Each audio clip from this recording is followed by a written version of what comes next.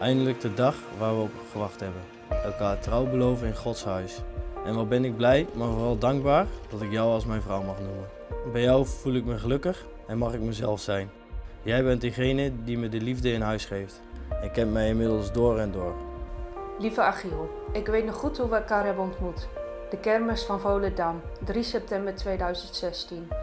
Op jouw verjaardag 19 september vroeg je mij jouw vriendin te worden. Het jaar erop, eind juli, kwamen we erachter dat ik zwanger was.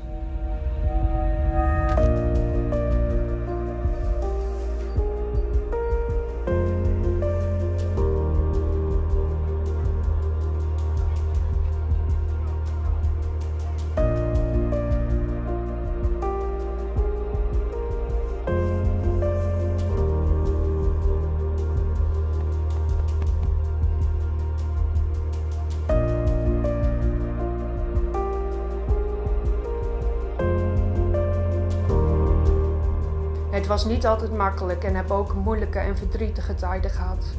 Maar jij was er altijd voor mij. Ook al hebben we ook wel eens een meningsverschil of discussie, we komen er samen altijd uit.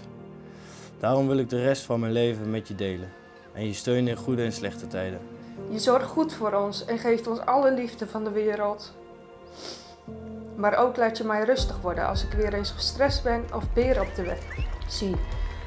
We hebben er, er vaak over gehad, maar dit was Gods plan met ons. Want met God naast ons is de liefde nog groter.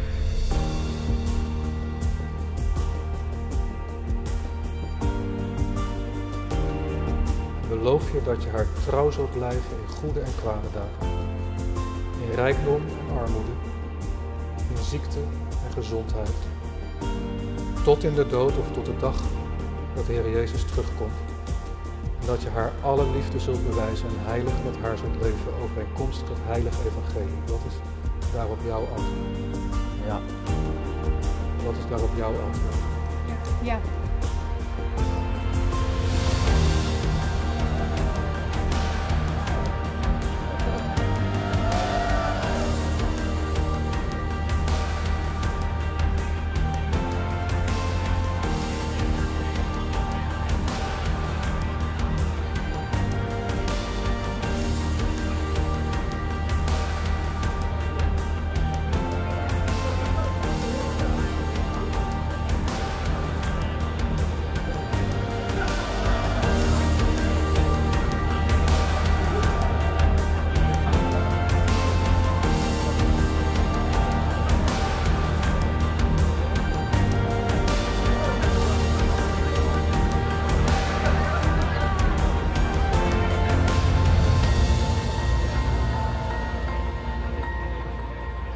Natuurlijk moeten we Safi niet vergeten.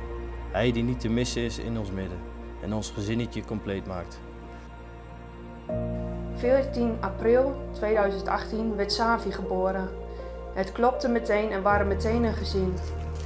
Ik wil daarom ook zeggen dat je het als moeder zijnde fantastisch doet en dat ik daarin ook heel trots op je ben. Savi was niet meer weg te denken en nog steeds niet. Wat ben ik dankbaar dat ik jou en Savi heb en dat we alleen maar dichter naar elkaar zijn toegegroeid in de loop van de jaren. Uiteindelijk ben ik vooral dankbaar voor wat wij samen hebben en wil dit nog heel lang met je doorzetten. Wat ben ik blij dat deze dag eindelijk mag plaatsvinden met jou.